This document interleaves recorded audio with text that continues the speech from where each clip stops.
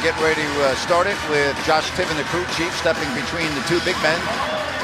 And it's the Phoenix Suns with the first change. Holding, I don't see any hands Nope. up. Not, not a one. Of course, they haven't accomplished it yet, but they're in a good position to do so as they're.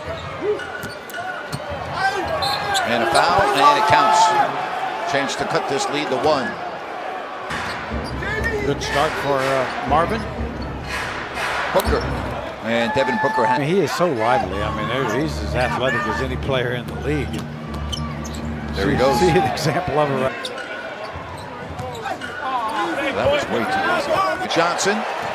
More fans love that. Willie Blockenstein at his best, but uh, when you don't get it back, you get Here is Tyler Johnson, and it's taken by Jackson. Oh, nice rebound and putback for Buddy Hield. Kings have their largest lead of the game. Devin Booker scoots in and scores. Turnover, although four of them here in the quarter. And there's Jackson and that's what he can do. Yep, he I think uh, for the putback, and now it's Jackson.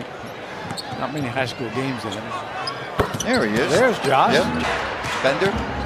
Booker tees up a three.